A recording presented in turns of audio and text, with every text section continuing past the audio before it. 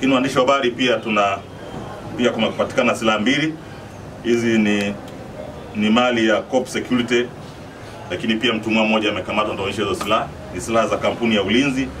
Kwa hiyo kuna mtumwa anaitwa Daniel Benson eh, aliiba hizo hizo hizo bunduki na kwenda kuzificha anapojua, lakini upelelezi ulifanyika baada ya kumkamata alipohojiwa eh, akaonekana kwamba alikuwa anataka kwenda kuzifanyia uhalifu.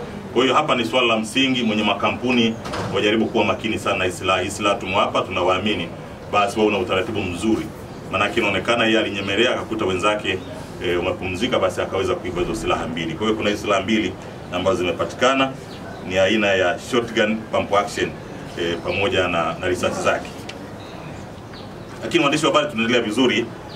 E, lakini niseme kwa wiki hii tumefanikiwa kukamata e, gari lenye namba T 732 BAZ. in ni Toyota Crest tarehe 17 mwezi wa 5 2017 eh, huko maeneo ya Masaki. Masaki kumekuwa kuna shida sana ya ya, ya, ya unyang'anyi eh, mtu ana gari lake anaona abiria uh, mtu anatembea na mkoba wa kina mama, anapenda mikoba ile mirefu, anasimamisha gari, unakurupuka, unamnyang'anya mikoba. Kwa hiyo kume big snatches, uh, wizi wa mikoba mikoba umekuwa mwingi sana. Kwa hiyo tulifanya um, uh, mtego na bahati nzuri tulifanikiwa kumkamata huyu mtuhumiwa eh, Dunia Hamisi, narudia Dunia Hamisi mwenye umri miaka 26 na anasema yeye ni mhandisi, yuko Mikocheni akiwa na hii gari ambayo ni Toyota Crest. Hii Toyota Crest imekuwa inatumika matukio mengi eh, ya kule Masaki. Unafika anasimamisha, anaona mwanadada, mwanababa ana begi lake, wanapola lile begi, wanaingia nalo kwenye gari, wanakimbia. Kwa hiyo kimsingi, uh, kuna matukio mengi yamekiri kuyafanya na upelelezi unaendelea. Mwisho wa siku tutampeleka tutampeleka mahakamani.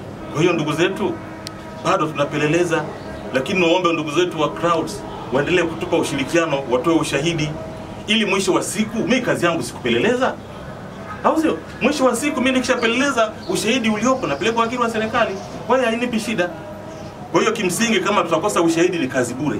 Kimsingi tupate ushahidi, kuna zile footage tumeshazipata, lakini ushahidi mwingine upo, watupe ushirikiano, walikuwepo, waende wamwone mpelelezi, tukisha compile tukishapeleleza, tumekamilisha upelelezi, tunapeleka kwa wakili wa serikali, wakili wa serikali ataandaa mashtaka.